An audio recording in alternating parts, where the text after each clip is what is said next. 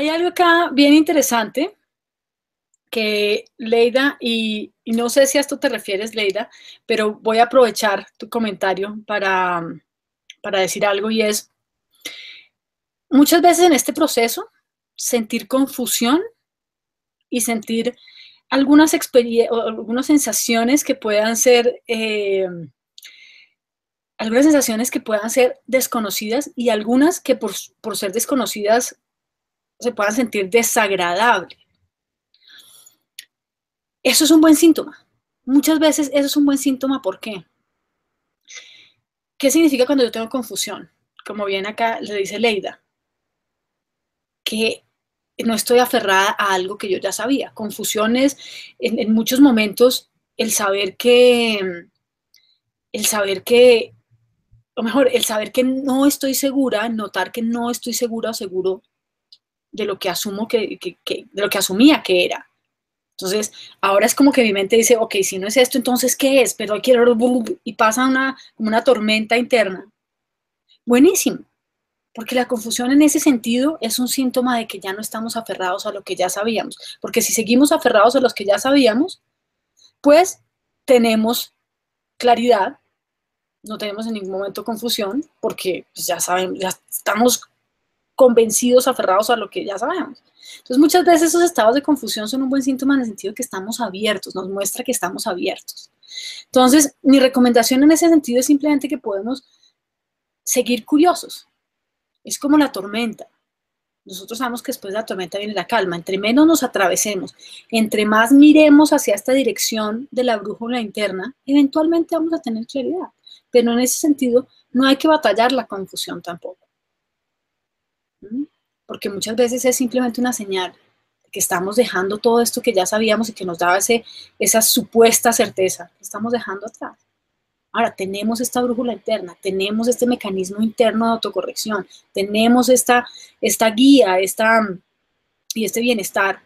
Entonces es simplemente relajarnos un poco más en nuestros propios procesos. A veces nos tomamos nuestro propio crecimiento, nuestros propios procesos tan en serio que lo que hacemos es atravesar. Ahora, voy a, voy a abrirle espacio a nuestra siguiente panelista, pero antes que nada voy a presentarla. Denme un segundo. ¿Dónde estás? Acá. Aquí. Judith Bustamante nos acompaña desde Perú y eh, ella nos cuenta de ella que nace en Arequipa, Perú hace 45 años, soy divorciada con dos niños de 10 y 2 años de edad, bachiller de administración de empresas y con 20 años de experiencia en banca y finanzas. Siempre una búsqueda que me hiciera comprender mejor mi experiencia de vida y de sanar. Me involucré en talleres, seminarios de crecimiento personal, terapias de perdón, leí muchos libros espirituales y de autoayuda, viví un tiempo en el templo de Hare Krishna, me inicié en Diksha, Diksha y Mahikari, hasta que en un curso de liderazgo surgió en mi vida la palabra coaching. Con la decisión de estudiar para ser coach, estudié un poco de PNL y psicología positiva y finalmente encuentro al ICG y a Karen Vega, donde conozco los tres principios. A través de este entendimiento y conocimiento que experimento, es, a través de este entendimiento y conocimiento que experimento un cambio radical en mi modo de ver la vida y mis relaciones personales. La vida ha dejado de ser un campo de batalla y el miedo a vivir es ahora una expectativa de qué sorpresas nuevas me esperan. Gracias. Nuevamente pueden encontrar cómo contactar a Judith y, eh, y demás en mundobienestar.com slash o rayeta diagonal panelistas. Ok. Le doy la bienvenida, Judith. Hola, ¿cómo estás? Hola, Karen, ¿qué tal? Hola, Karen, ¿qué tal? Qué gusto que estés acá. Me, emociona muchísimo que nos acompañes y te agradezco por además tu, honestidad y tu generosidad al compartir tu experiencia. Eh, los micrófonos, los oídos de la cumbre son todos tuyos. No, es un honor para mí, Karen. Te agradezco la oportunidad porque eh, realmente lo que yo estoy viviendo, lo que estamos viviendo todos nosotros, creo que debemos compartirlo. Mm, bueno, como, como bien has leído, yo tengo 45 años, soy mamá de dos niños, tienen 10 y 12 años.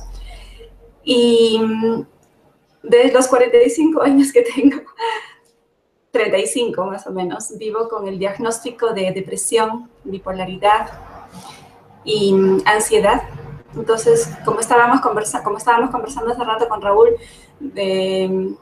yo tengo, tenía unos diagnósticos psiquiátricos, yo tenía tratamiento, he estado hospitalizada en el, departamento de psiquiatría un par de veces. Y lo que yo les quiero compartir es que esto, bueno, esto nace en mi niñez, como, como muchas historias. Eh, mi papá era un hombre alcohólico, era muy violento. Y yo he visto esto desde que tengo uso de razón, mucha violencia, mucha, mucha agresión verbal, psicológica, física. Y mi primer intento de suicidio fue a los 13 años. Eh, también eh, hacía cosas como tomar agujas que yo me compraba en las farmacias. Me hacía un torniquete en el brazo y me sacaba sangre. Y crecí con la certeza de que yo estaba mal, de que mm, estaba enferma, que la depresión era una enfermedad, no, no un estado de ánimo, no era una tristeza, estaba enferma. Y que en algún momento yo tenía que perdonar que tenía que sanar.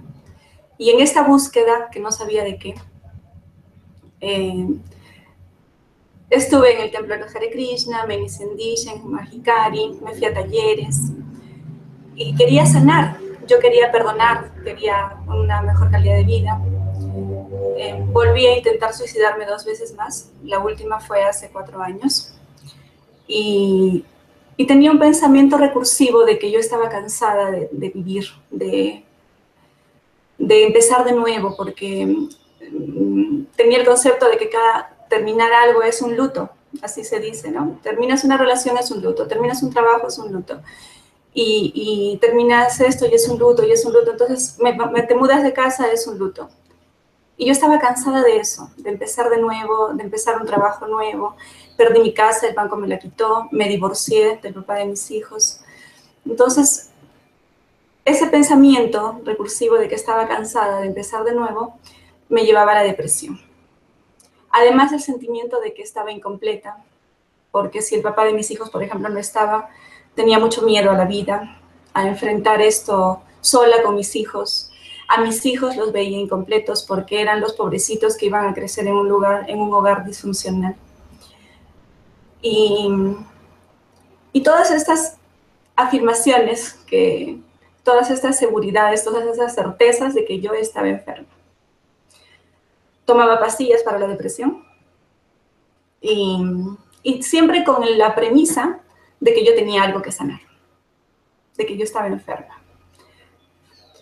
Cuando en toda esta búsqueda llego a lo que es el coaching, y era una, técnica al inicio de preguntas y de, buscar, empezamos esto con los tres principios, que como decía en uno de los comentarios, al principio te causa como un poco de confusión, porque como que no lo entiendes mucho, porque estás acostumbrado a mirar hacia afuera, porque yo quería solucionar las circunstancias, yo quería mirarlas más positivamente con esto de programación neurolingüística y, la psicología positiva. Eh, tenía la certeza de que si yo amanecía contenta un día, pues iba a estar así todo el día y eso era psicología positiva, quería ponerles otro color a las circunstancias, pero me caía bien rápido, no me duraba muy poco. Con, darme cuenta de los tres principios, eh, empiezo a observarme, me empiezo a dar cuenta de que yo creo mis emociones desde lo que pienso y que muchos de esos pensamientos no eran reales. El primer pensamiento que no era real es que yo estaba enferma, que yo tenía algo que sanar. Y, y cuando me doy cuenta de esto y me veo como un ser completo, total, pleno, feliz, muchas cosas se derrumbaron y tienes esa sensación que, que yo también la he escuchado en otras personas. ¿Y cómo es posible que no lo haya visto antes? No es tan complicado. Solamente es voltear tu mirada hacia otro lado. Y, y bueno, todo el mundo se me abre. Poco a poco voy entendiendo más cosas. Y lo que yo quería compartirles, aparte de que mi experiencia fue así, tan depresiva, tan bipolar, tan tantas cosas, lo que yo quiero compartirles es lo que veo ahora. Eh, primero me di, cuenta de que pensaba y que mis pensamientos crean mi realidad. Entonces son como unos lentes. Ayer Marina decía algo que, que, que, también me hizo entender más cosas. Ella dice que hay un día nublado y que yo puedo interpretar ese día nublado de muchas maneras, que hay tantas interpretaciones de un nublado como seres humanos existen. Y es cierto, entonces yo puedo ver la vida con los lentes que yo me ponga. Si yo me pongo lentes de tristeza, pues todo lo voy a ver con mucha pena. Si me pongo lentes de buena actitud, pues todo lo voy a ver muy bien. Pero eso es mi pensamiento y me estoy atravesando en lo que realmente es. Si yo me quito los lentes, pues voy a ver es un día nublado sin juicios. Eso es todo. Un día nublado. Y lo voy a sentir y me voy a conectar desde lo que realmente soy. No desde mi juicio como bueno o como malo. No es que el juicio bueno esté bien, ni que el juicio malo esté mal. Es un juicio y ya me corta la verdadera percepción de las cosas. Y, esos lentes son los que también me hacen ver a las personas. Porque primero que me veía a mí misma como una víctima de las circunstancias, como una víctima de las personas, de mi papá, de, la vida, de, de mi expareja. Entonces, yo era la víctima. Y me veía con ojos de víctima. Entonces, cuando te quitas eso, ya lo ves tal cual. No es ni bueno ni malo. Mm, otra cosa de las que me doy cuenta es que lo que existen son niveles de conciencia. Que yo veo la, vida y los lentes que tengo son de acuerdo a mi nivel de conciencia. Y que bajo ese punto de vista no hay nada que perdonar. Yo siempre tenía la, esperanza de algún día perdonar a mi papá, de algún día perdonar a mi mamá, a todas las personas que fueron los que me lastimaron, en teoría, ¿no? Pero me di cuenta que no había nada que perdonar ni a mí misma, porque también me juzgaba mucho por todo lo que había hecho de lastimarme, de las agujas y todo, ni a los demás. Yo hice lo mejor que pude en el nivel de conciencia que tenía en ese momento. Mi papá, mi mamá y todas las personas que de alguna forma fueron protagonistas en mi vida también. Y, no había nada que perdonar. No había nada que sanar, no había nada que perdonar. Eh, otra cosa que, de la que me di cuenta es que no tenía un propósito en mi vida. Yo buscaba cuál es el propósito de mi vida. Debe haber un por qué estoy aquí. Todo eso debe tener algún sentido. Y finalmente el único propósito que veo es darme cuenta de esto, de, de volver a mí. Que eso que yo tanto buscaba era yo. Que yo soy mi hogar.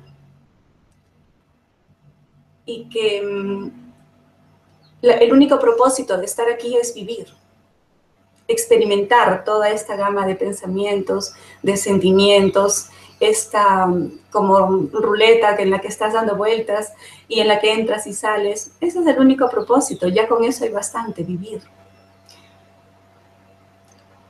Que no tengo que ayudar a nadie. Yo decía, algún día todo lo que yo he vivido le va a servir a alguien para yo ayudarla, para yo decirle, pero ayudarla bajo la pena, ¿no? soy tan víctima como tú y lloremos juntas. Pero en todo caso, la única ayuda que yo puedo dar es decirle a las personas que miren hacia otro lado porque están completas. Y si yo no las estoy viendo así es porque hay algún pensamiento en mí que no las está viendo bien. Porque todos los seres humanos estamos completos y sanos, todos. Y no hay que ayudarle a nadie, solamente decirle que miren otra dirección porque está completo, porque está sano. Tanto es así que las cosas ya no me dan tanta pena, a menos que haya un juicio en mí. Cuando veo a alguien con pena, o pobrecito, cómo está pasando por esta situación, vuelvo a mí y me doy cuenta de que es un pensamiento mío o un juicio mío el que lo está viendo de esa manera. Porque es una persona plena y sana. Y es mi juicio que, que lo distorsiona lo mejor que yo puedo hacer es estar feliz, como dijo ayer Marina. Tu felicidad es lo mejor que puedes hacer por los demás. Mi luz es lo mejor que puedo hacer por los demás. Porque así los demás podrán ver su luz propia. Otra cosa de la que me he dado cuenta es que todo está bien. Que las circunstancias, por muy difíciles que parezcan, que en el fondo y en esencia no te afectan, también están ahí por un motivo, por muy dramáticas que parezcan, porque son las circunstancias las que te van señalando dónde mirar. Que todo estuvo perfecto siempre. Y que no solamente yo estuve bien, sino las circunstancias que te van señalando ese camino a dónde mirar. Mm. Que no estuvo mal, que no importa lo que estés pasando, no, te, no eres intocable, en esencia eres divino, ni siquiera la misma muerte te lastima, y que las circunstancias que vas pasando solamente son un indicativo de hacia dónde mirar, para que te des cuenta de quién eres en realidad. Eh, este pensamiento recursivo que yo tenía de que estaba cansada de empezar de nuevo, que era frustrante, que era lo que me hacía deprimir en alguna instancia, ahora es mi poder. Porque es en cada instante de cambio que yo puedo cambiar las cosas, que yo puedo darle otro matiz, que ese es mi poder. Darme cuenta de que cada instante soy infinitas posibilidades. Y que en ese cambio está mi poder. Cada, cada nuevo día es un cambio, cada instante es un cambio, y ese es mi poder. También he entendido de que yo no soy lo que yo creía que era. Este cuerpo físico no soy. Mis pensamientos tampoco soy yo. Mis emociones tampoco soy yo. Soy quien observa todo eso. Soy quien está experimentando, soy el que está observando a la, Judith que piensa. Y desde ahí atrás todo es paz, todo es amor. Y somos lo mismo, es lo que son todos. Es como un teatro en el que me creí que era Judith, la víctima, en algunos casos la, verduga, Pero ahora me doy cuenta de que soy la película que me creé, soy la directora de la película, soy la observadora de la película, soy todo. Y yo solamente veía mi, mi lugar de actriz. Ahora me doy cuenta que soy todo. Un día tuve un insight cuando estaba pensando en el papá de mis hijos, de todo esto que, te estoy comentando y de lo mal que yo me sentí cuando él se fue que yo necesitaba que Él estuviera en mi vida. Me sentía incompleta, me sentía um, con miedo, yo no iba a poder afrontar la vida con mis hijos yo sola. Y de pronto me di cuenta de que yo no necesitaba el amor de esa persona de la manera dependiente que yo tenía. Sí, de repente desde un lado humano, que todos somos lo mismo, pero no desde la, desde la forma dependiente que yo lo veía. Y me di cuenta de que yo no necesito amor porque yo soy el amor. Esa frase me nació de dentro y, decía, no puede ser que yo necesite algo que yo soy. No puedes mojar el agua. Yo soy el amor. No puedo necesitar la paz de fuera porque yo soy la paz. No puedo necesitar felicidad porque yo soy felicidad. Entonces, es más, es algo que yo tengo que brindarte, sale de mí. Cuando hay algo externo que yo creo que es lo que me da, es porque estoy viviendo una ilusión. Yo soy el amor. Y bueno, yo soy mi hogar. Traigo a veces. Eh, sí, sí, soy humana y me salgo. Sé que van a venir todavía momentos de, de pena, de enfermedad, pero ya los veo desde otro lado. Y si me engancho con un pensamiento que me distrae, pues ya lo observo y sé que puedo volver. Y ese volver es mi hogar, yo, lo que de verdad soy. La relación conmigo misma ha cambiado muchísimo. Ya no me juzgo, y si me juzgo dura poco. Y digo, bueno, ahí está de nuevo el pensamiento, ¿no? Ya no juzgo a las personas porque sé que actúan bajo lo que están mirando, con los lentes que se están poniendo y que si todos nos quitáramos los lentes nos veríamos realmente como somos y veríamos la vida como es, sin juicios, ni bueno ni malo. La vida hay que vivirla, bese o pegue. Alguna vez escuché eso. Si pega, pega, si besa, besa, pero vívela. Para eso estamos, para experimentar que pegue o que ves. Y que en última instancia nada realmente nos pega, nada realmente te lastima, nada realmente te daña. No importa lo que estés viviendo, no importa la circunstancia, por muy dramática que parezca, por muy terrible que parezca, es solo una circunstancia y no te toca. Para nada. Eso es lo que quería compartirles. Wow. Yo creo que me dejas a mí, nos dejas a todos con un sentimiento espectacular, con esta invitación nuevamente a sentir esto. Y por eso les voy a, vamos a tomar un descanso de 10 minutos para dejar que esto tan poderoso, potente y hermoso que nos ha compartido Judith lo, dejemos asentar. Eh, te el favor, Judith, que y con todo mi agradecimiento, quédate ahí en la línea, por favor. Y vamos a, invitarlos a que lo sientan. Ya nos vemos.